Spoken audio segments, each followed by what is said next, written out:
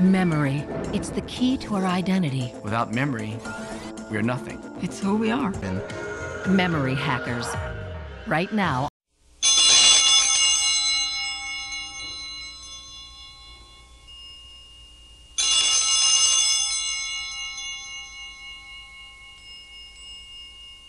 The rule of St. Benedict says, during the winter season, that is from the 1st of November until Easter, the brethren will rise at what may reasonably be calculated as the eighth hour of the night, so that having rested till somewhat past midnight, they may rise fully refreshed. And the time that remains after the night office should be devoted to the study by those brethren who have some of the Psalter or lessons to learn.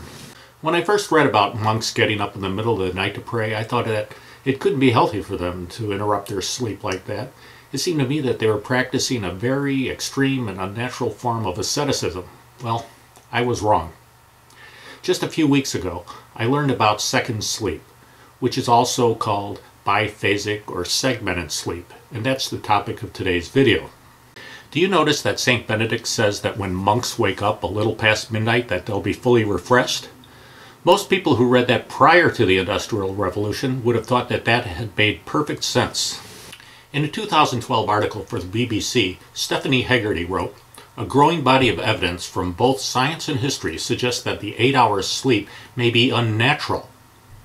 Hegarty reported that in the early 1990s, a psychiatrist named Thomas Wehr conducted an experiment, and he placed a group of people into total darkness for 14 hours every day for a month.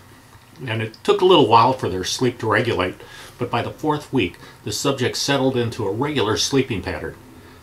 Well, they slept for the first four hours of sleep. Then they woke up for one or two hours, and then they fell back into a second four hours sleep. In his book, Day's Close, Night in Times Past, Dr.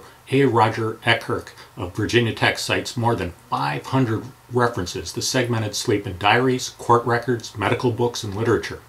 The references describe a first sleep of about four hours that begins about two hours after sunset. The first sleep is then followed by a waking period of about one or two hours, which is then followed by a second sleep. And that's consistent with Dr. Wehr's study. According to the BBC article, during this waking period, people were quite active. They often got up, went to the toilet, or smoked tobacco, and some even visited neighbors. Most people stayed in bed, wrote, and often prayed. Countless prayer manuals from the late 15th century offered special prayers for the hours in between sleeps.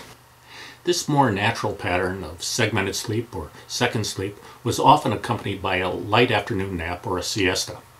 We can also see references to a second sleep cited in Scripture. I rose at midnight to give praise to thee.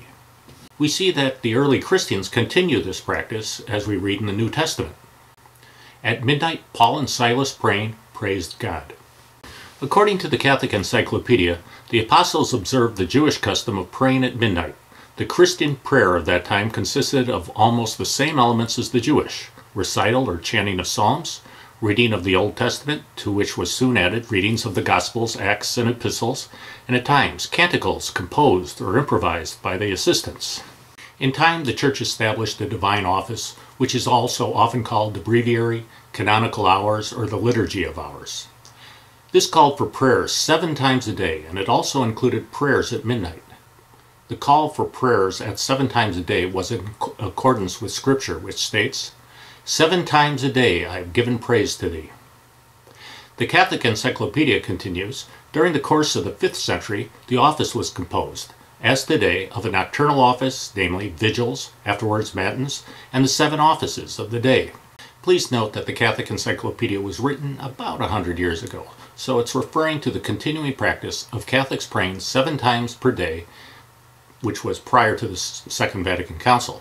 However, after the Second Vatican Council, Pope Paul VI restructured the Liturgy of the Hours and eliminated midnight prayers, and he also combined three prayers into one single daytime prayer.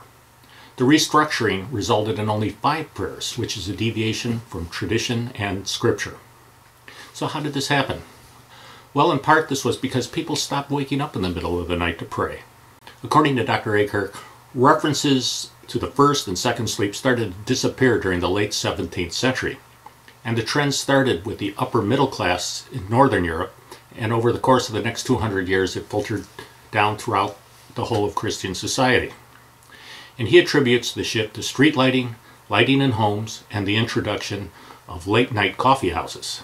People were becoming increasingly time conscious and sensitive to efficiency, certainly before the 19th century. But the Industrial Revolution intensified that attitude by leaps and bounds. So, nowadays we're told that we should get eight uninterrupted hours of sleep, and we're told that that's healthy. However, science is telling us something that maybe is different. Maybe eight hours of sleep isn't natural. Now, since learning about second sleep, I've been watching my patterns and I've noticed that I wake up naturally almost exactly four hours after I fall asleep. And this is something that I never kept track of before. I'd like to hear what your experiences are and please feel free to post them below. When we do wake up at night, and this is the point of the video, it's a perfect opportunity to pray to God. Our ancestors, who did this every night, would typically pray the 133rd Psalm. Behold now, bless ye the Lord all ye servants of the Lord, who stand in the house of the Lord, in the courts of the house of our God.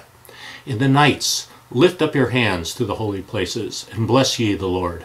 May the Lord out of Zion bless thee, he that made heaven and earth. Well, thank you for watching this installment. We'll be back again in about a week with another one.